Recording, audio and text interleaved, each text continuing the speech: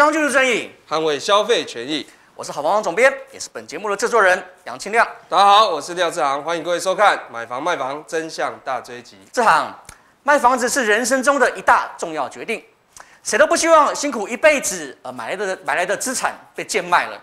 那为什么还是常常耳闻有屋主哦卖了房子之后，发现被房仲欺骗的事件发生呢？现在已经很少人用自售的方式在卖房子，大多都直接找房仲来处理。而一般的屋主想要知道自己房子的行情，哦，自然就会请房仲来帮忙估价，哦，而此时选择房仲就很重要，哦，因为如果遇到黑心的房仲，你辛苦一辈子的积蓄恐怕就被坑杀或被低买高卖了。身为屋主，他在卖房子要找中介来估价的时候，有哪些是要注意的重点？他注意这些重点，才能够避免遇到这这一类的黑心业者呢？好，这一集我整理了估价的四大注意事项，哦，来帮观众朋友趋吉避凶。来看看有哪四项。好，有关房子的行情哦，这是万变不离其宗的哦。第一个哦，房仲请房仲来估价，一定要确认房仲提供的成交行情。这个在以前的节目里面，我们曾经多次提到，提供同条街但不同路段，或是同条街不同的产品，甚至是挑选过的成交行情，都会让物主误判。没错，总编你说的没错哦，因为屋主找房仲卖房子，找房仲来估价哦，他最期待的是什么？第一个，他要卖合理的价格，或超乎他期待的价格哦，希望房仲能够哦满足他这样的条件。那第二个是要在合理的时间售出，所以我们今天来讲一下哈，怎么确认房仲提供他的成交行情是完整的，重点在完整哦，重点在正确哦，因为之前我们节目也提到哦，很多。黑心的房仲业者，他提供给屋主的行情是经过挑选，是经过筛选，哦，他给屋主看的是比较低价的价格，甚至提供同条街但是不同路段，或者是拿前段后段的行情给你，口头讲一讲，那屋主基于哦信任，基于相信他，哦就委托给他，结果就造成了不堪的后果，哦甚至被坑杀，哦都有可能。哦，所以我们今天哦也来教大家怎么确认房仲提供的行情是是正确的。好，我们看一下这个简报。如果房仲提供给你这张成交行情，嗯哼，哦，你会觉得它有什么奇怪的地方吗？看起来都还好啊。你看这个路段都是二一九巷、二一九巷、二一九巷，单价大概是五十五、五十六、五十八。哈，那我看了之后。我想我就是卖五十六到五十八，应该合理吧？哦，所以看着这个行情，你会认为，哎，它提供的蛮完整的啊，哦，路段都相同啊，也是在我家附近啊。对，哦，这里的行情大概就大概五十五到五十八。嗯哼，所以总编，你你如果要卖房子，你看到了这个这个行情表，你可能会卖五十五到六十万左右，合理哦，合理嘛哈。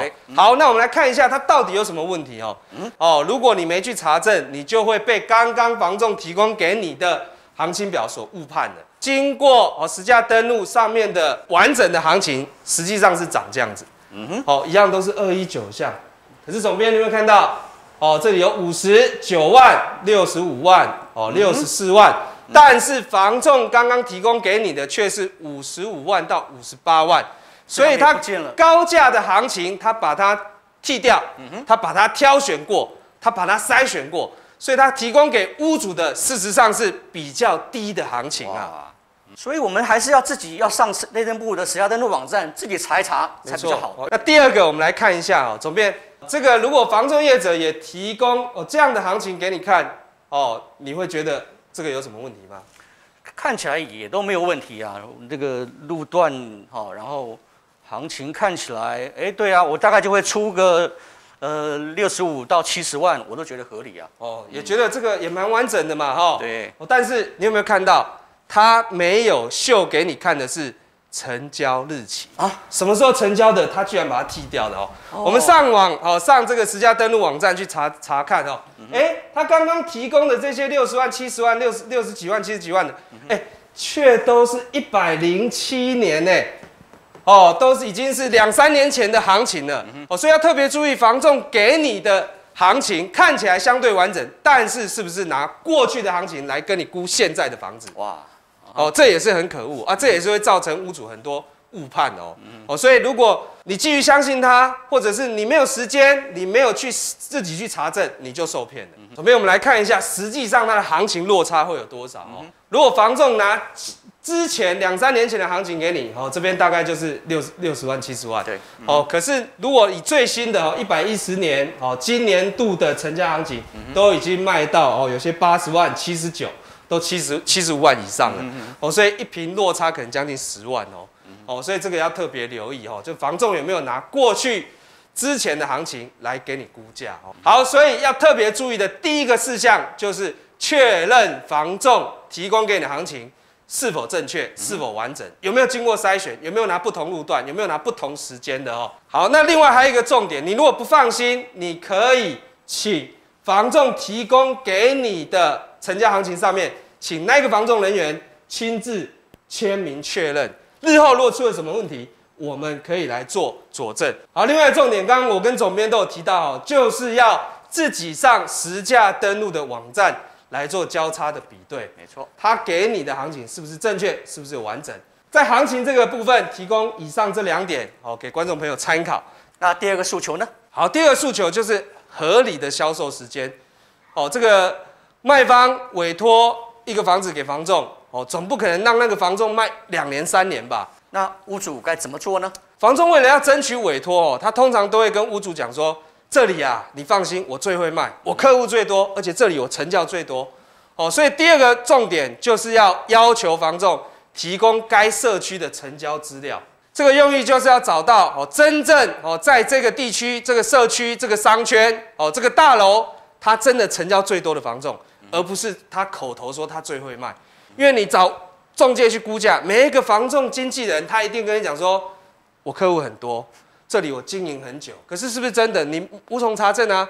实际上，路路上只能看到行情啊，只能看到卖多少啊。哦，所以你要请经纪人员提供他们公司或他个人在这个社区的成交记录，在他提供给你的这些成交记录上呢，你可以请他签名确认，这个也是一个重点。哦，才不会被呃黑心的房仲或有心的经纪人呢来糊弄掉。哈，没错，如果经纪人在该社区都没有卖都没有成交过房子。他要他要如何处理我的房子呢？还有吗？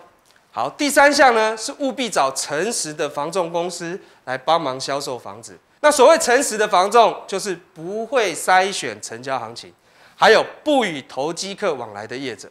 哦，因为只要跟投机客往来业者，很有可能就会设计你的房子，坑杀你的价格。每个人都会说他不会筛选成交行情，也可能欺骗屋主说我没有和投机客往来啊。有没有更无脑的判断方法？好，那就是第四项哦。第四项就是，如果你不想伤脑筋，那建议就要选择大型的房仲公司哦。那最好还要货比三家哦。怎么比呢？好，货比三家有几个原则哦。第一个，你比比看这几家提供给你的行情有没有一样，有没有完整，有没有每一家都完整，还是哪一家是经过挑选？第二个，你可以比他们公司的一些制度，什么制度呢？它有没有连卖的制度？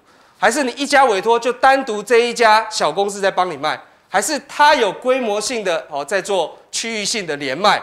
好，另外你还可以比一下每家公司的保障哦，因为现在很多房中业者都有一些卖房子好一些保障哦，包括漏水啊、海沙辐射啊、哦凶宅啊这些都有保障。那另外你还可以问问对方，如果日后发现我的房子被你们贱卖了，有没有提供任何的保障？你是说？房价的保障吗？没错哦，就是总编说的最无脑的判断方法哦。也对，连你的房子被投机客低价买走，都要补偿损失了，想必也就是真的未和投机客往来。